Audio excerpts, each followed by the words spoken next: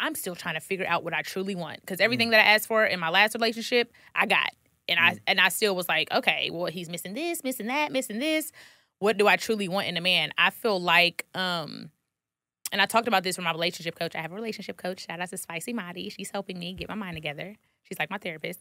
Um, if I really have to decide if I want to date a beta or an alpha man, and I feel like most men that I've been with are beta men, but I'm attracted to alpha men Most men are beta men. What is that that? I've been with. With, like just let you lead, I guess. Uh, yes, like kind of like, but but here's the thing: most the men that I've dated have been beta men, but they want to be alpha.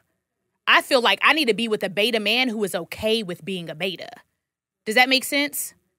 this is your perspective. Yeah, it makes sense. You know what I'm saying? Like, you're if saying. you're a beta man, but you want to be an alpha man, you're gonna be unhappy. And me being an alpha woman is gonna be a turnoff for you. But if you're a beta man and you truly don't mind your woman taking the lead, being the center of attention, making more money than you, then you're okay.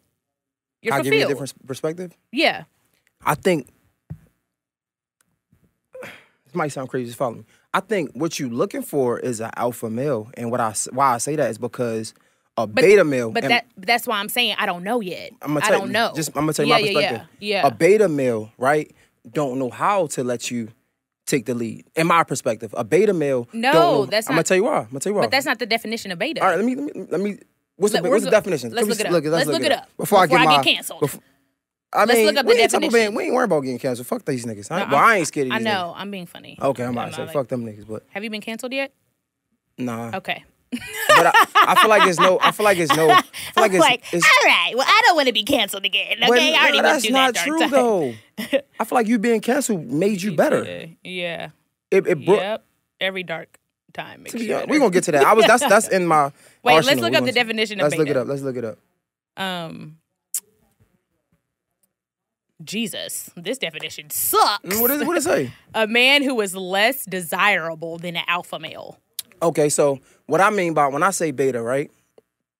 I'm all about. I'm big on confidence. So he's more passive. He's more um submissive. Okay. Mm-hmm. He's more pa- like passive. I'm trying to think of an example. I understand what you're Okay, trying okay, to say, okay, but okay, here okay, my perspective, right? This is why I think a beta male. I think you want an alpha male. This is why. I think I do too. I'm gonna tell you That's why, what I'm saying, but- but, I think because of my personality, I should probably try to date a beta. Hear me out though. Okay. A beta, right?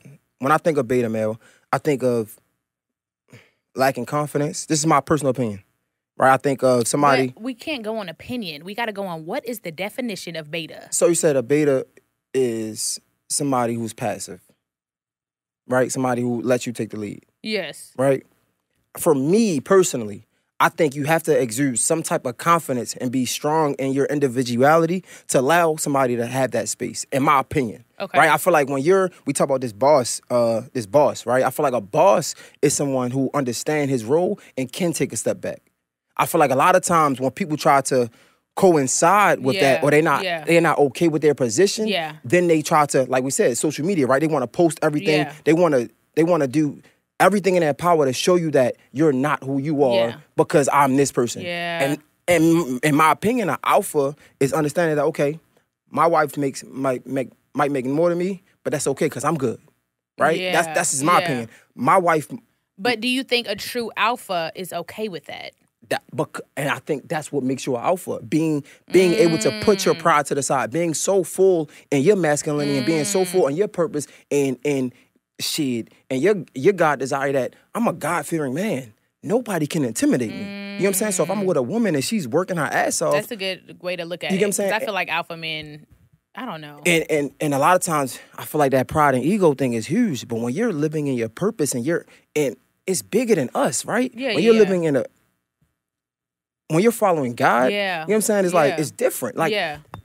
I'm But that's what I'm saying. You don't that when a man knows his purpose, it's easier to date a man that knows his purpose. For sure. Have y'all ever read The Way of the Superior Man? Come on, bro, don't play with me. You have? Yeah, It's such a good book. it is. I was just talking about it on my last podcast. Yeah, Yeah. it's such a good book. I, I'm not even done with it. Actually, I read it all the way through. I I don't retain information well, so I'm reading it again and taking notes. But um, it's just a good perspective. It's actually for men, but I'm reading it to understand, you know, more of more of a male's. It's a it's a it's a great perspective. I think. Um, yes, But even going back in it, I think, you know, what happens is in these relationships, since we're here, I feel like a lot of times this is so important. It's a cliche, but we miss it. Mm-hmm. We overlook those red flags, and that's super important. We overlook it because we like somebody, mm-hmm. right? So like we start, we fall in lust with somebody. So now, because I like you, I'm overlooking the things that I don't like. But what happens is, if you be serious with somebody, they're going to be the same person four or five years down the Yeah, line than who for they sure. were when, when you met them. For sure. And now you're but that's to why I'm like, my next relationship, I have to be their friend first. I have never done that. Mm. I have always been like, I like you, you like me. Moving is It's lit. We're talking or we're dating or it's already a sexual connection there. So it's already a flirtation or I have never truly been platonic friends with a guy I've been intimate with first, like for a long period of time. The next guy I date, I am going to be his friend. And if I don't like you as my friend, I'm damn sure I ain't to like you as my boyfriend You um, or my husband. I actually was just talking about this the other day. These bangs, fuck. Yeah, it's just like I actually talking about this the other day, and you and you sparked this conversation though. I feel like let's let's go there, right? You and Desi Banks mm-hmm. never had, y'all never did. It was strictly platonic Yeah. this entire time, right? Y'all know each other for years. Mhm. I feel like we should be more open.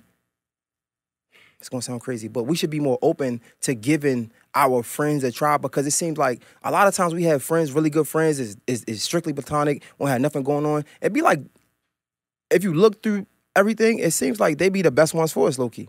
Like a friend. Yeah. yeah. Well, yeah. But we never get those people a chance because they just friends. Because you don't want to like be mean to your friend. You don't want to hurt your friend. You Mm. Don't want to break your friend's heart. So when you have a friendship first, it allows you to be more respectful to that person and not just like lusting over them. Right. But you say you want to your next Yeah, the next guy partner, I talk to, they want to be a friend, but having having a friend because you have I don't know how many, but you I know we all know we can see Mm-hmm. uh, Desi Banks, right? You have a friend that was strictly platonic and Yeah, it was yeah, great yeah. relationships. Do you think you can build that with somebody and then go to take take the step to the next level though?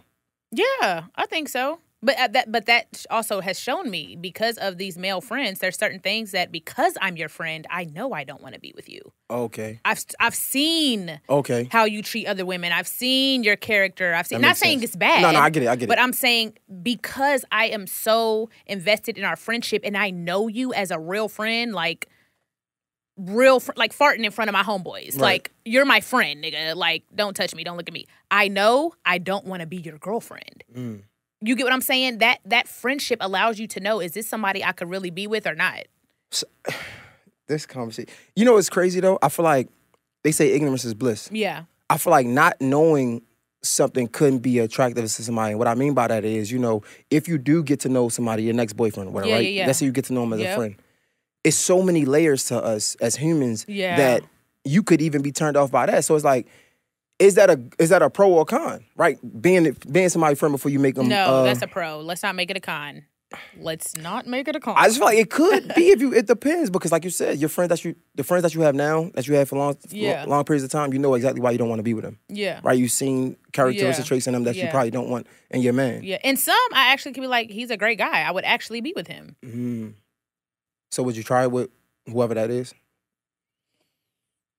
Oh, is the friendship too strong? attracted to him. Oh shit. But I mean, that can be fixed. I've had sex with ugly niggas. so so that being your up, friend, but but no, that being your friend, right? And and and And I really like them too. that being your friend and you you respecting that friendship, is it worth trying to go to the next level? This person? Yeah. No. See? How do we know if that's gonna be the same situation with the guy you meet that's your friend for years? We don't. Life is trial and error. Damn, life is crazy, man. we don't know.